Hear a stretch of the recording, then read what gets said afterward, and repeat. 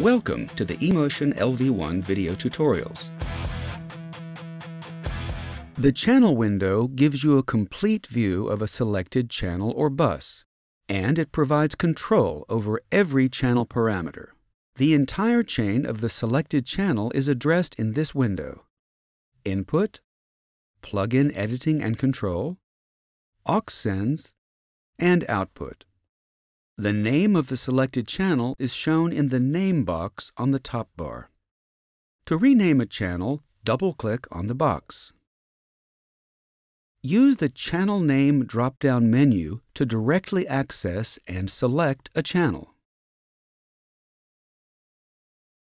You can also use the left-right arrows to move the selection up and down one channel at a time.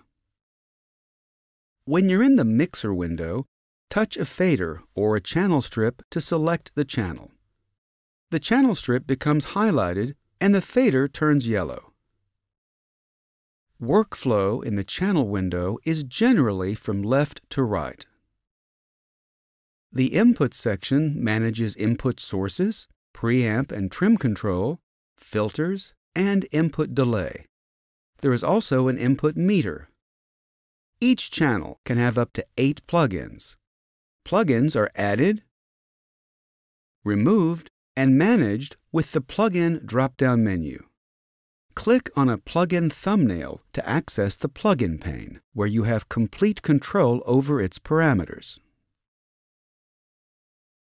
The main control section combines the displays and controls of the channel's plugins.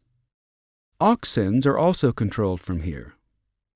The main control section consists of two parts. The central plugin section lets you simultaneously view and control one assigned filter, one EQ processor, and one dynamics processor. To the right are the aux sends.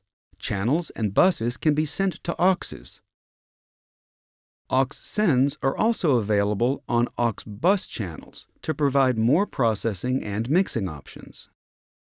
The output section has two displays.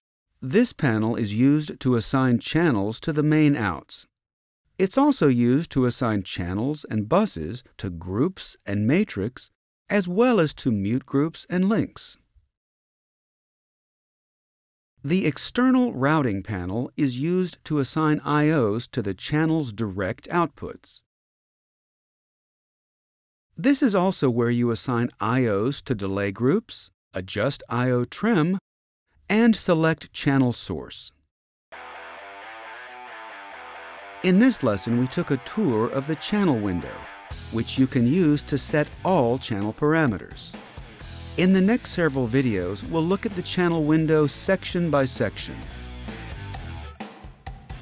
Thanks for watching this eMotion LV1 video tutorial. See you next time.